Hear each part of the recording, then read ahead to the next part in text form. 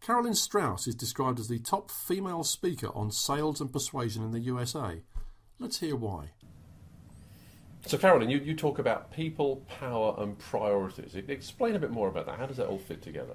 So, when I'm working with an executive team in a company, the most the key to having a great business of course is your people who are you surrounded with but the problem that most companies have is that businesses shift and the executive team thinks that they that their people know what the shift is but it, they don't so people are coming in spending eight nine ten hours a day working on stuff that's actually not getting to the outcome that the executive right, team is happening right. think about how much money everybody mm. is spending on their people right yeah. then there's the power thing you've got to look at what are you intending for your people to do and how are you imposing that on them okay. are you a soft leader are you a hard leader yeah. right and then there's priorities because there are everybody's got these task lists of 300 things to do and the priority thing we've actually kind of lost that as a society too because right. we're looking at social media and everybody's stuff seems important to us so, people, so power, how, priorities. How, do you, how, do you, get those things in alignment? How do you? How do you, that's that's a huge overwhelm. Yes, sorry. how, how, do you okay. get that to work? Actually, I worked with a company just the other day, and we did a strategic engagement session. It was so great because what we did is we did we did a five column spreadsheet basically only right. across the wall right get those giant post-its okay. you guys can do this for yourselves sure. write down all of the big heading projects that you're working on. Then, as the executive team, get really clear about what is the value you're bringing to your customers. Mm-hmm. What is the value that doing this brings to your company? And then, what are the things that have to get done to make this project work? Right. Then, take a list of all of your people and put them underneath each okay. of these topics, right? Each mm. of these projects so that everybody knows what they're working on and why they're working on it. Yeah.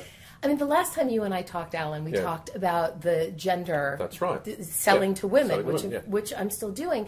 But now I'm taking it to another level where the people that are working for you, the men who are playing on your team, they now know what game they're playing and what it looks like to win. Okay. The women now know exactly what outcome you're looking for for them so that they can feel safe and satisfied.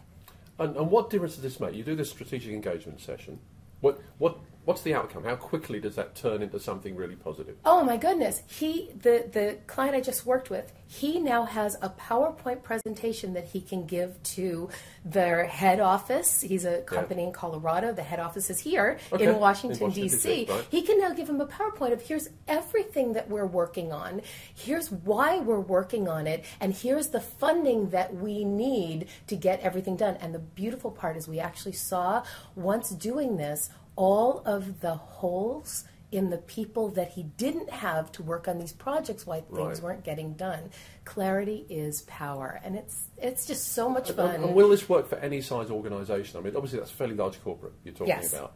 But if it's if it's a smaller business, if it's people, you know, 25 employees or something like that, it- are the same principles still applicable? I think it would actually be better for a smaller business because Okay. imagine when you have 500 employees putting everybody's name on there. By the way, because you want everybody to see this and you want everybody to go, that's where I fit in because we're all good. human beings. So if you're even if you're a small business with three employees, imagine putting all of your projects on a clear board, writing down why you're doing it, who why it's valuable to them, why it's valuable to you, and who is doing what, so that you, as the CEO of a three-person company, aren't doing all of the work. Of course, which is the tendency that you know, it falls to a lot of people, and they try and take on far too much.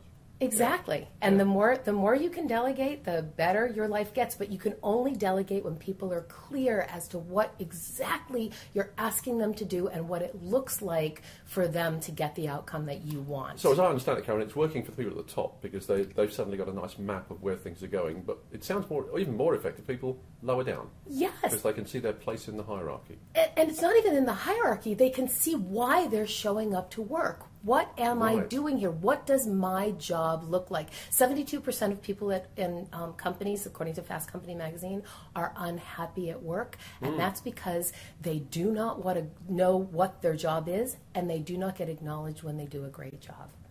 Brilliant stuff, Carolyn. I, I wish I could talk to you for a bit longer, but our time's nearly out. If people want to find out more about you and what you do in, in terms of strategic engagement and so on, how do they find you? Please go to www.carolynstrauss.com. Oh, I can ask you to spell that out for us because there are several ways people could spell that. Carolyn, C A R O L Y N S T R A U S S dot com. And I would love to work with any of your people because if they Yeah. know you, I will love them, Alan. Carolyn, thanks again for your time. There we are, the very smart indeed Carolyn Strauss.